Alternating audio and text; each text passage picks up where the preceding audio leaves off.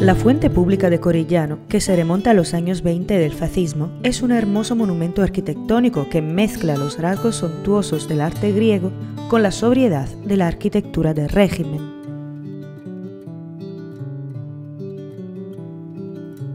Al centro de un esencial tanque circular en mármol hay una columna decorada sobre sus fachadas por refinados bajorrelieves. Arriba, un gran jarrón de mármol sostiene la hermosa estatua de la diosa Minerva, que avanza hacia el cielo una copa, casi a rendir homenaje a las divinidades. Esta es obra del artista salentino Nino Sisinni y hacer de musa y de modela de inspiración a la obra creativa fue la hermana menor, en aquella época apenas de 13 años, Gina Sisinni.